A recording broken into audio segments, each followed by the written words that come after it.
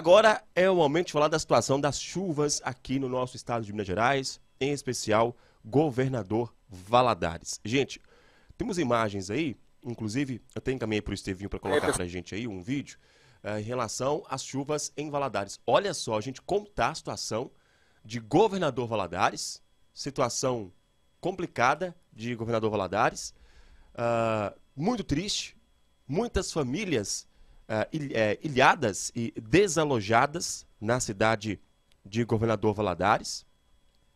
A prefeitura decretou ontem estado de emergência no município, né? Vários bairros, o Rio Doce ontem chegou a uh, chegou a marca de 4 metros, ultrapassou 4, met 4 metros por volta de 11 horas da manhã.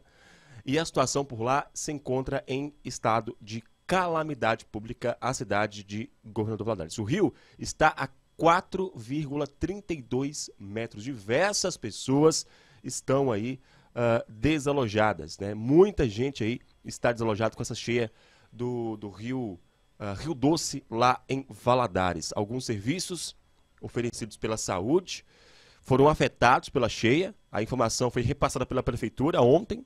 De acordo com o município, a estratégica de saúde da família, que são como se fossem PSFs, estão alagados, por isso não estão funcionando. E dessa forma, os usuários devem procurar outras unidades para uh, se vacinarem contra a Covid e terem atendimento. Olha a situação, gente. Por baixo do, do pico da Ibituruna, o Coelho Diniz, lá na cidade de Valadares, também debaixo d'água. Né? né? Indiana também debaixo d'água. Tem até, parece que é um clube ali também, né, que está debaixo d'água.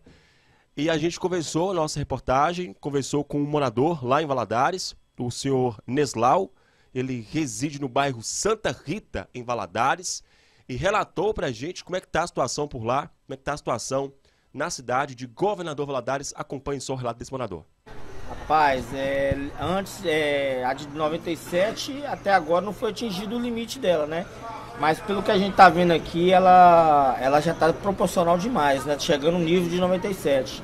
Eu, eu, no meu pensar, eu acho que isso aqui é mais pro desgaste do mar de lama. Porque ela, do jeito que ela chegou aqui, não dava nem para pensar que ela chegaria nesse nível que tá aí.